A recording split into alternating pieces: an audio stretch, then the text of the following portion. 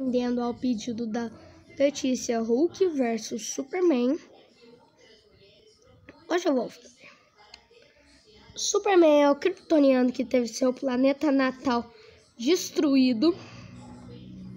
E ele foi enviado para a Terra. Ele tem como poderes e habilidades super força, super resistência. Ele também tem super velocidade.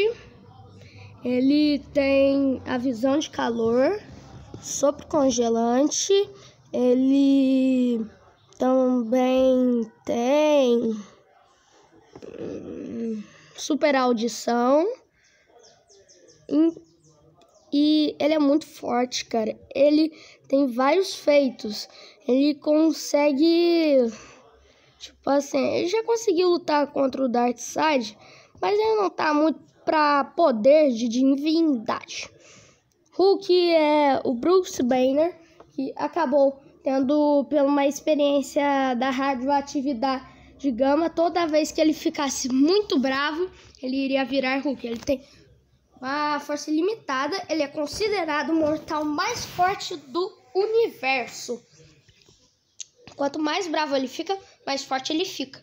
Tem super força, super resistência.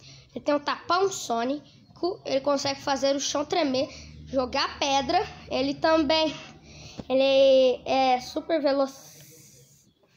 Ele é super veloz, o Hulk, super resistente. Ele é muita coisa, o Hulk.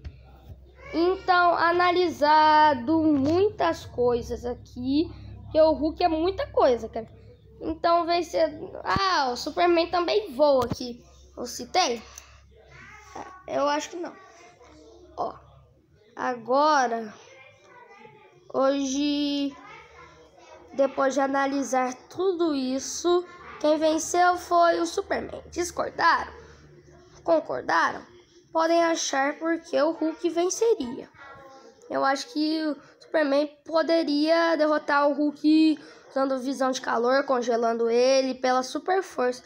É mais que o Hulk é só fúria, né? Então foi isso. Valeu, falou e tchau!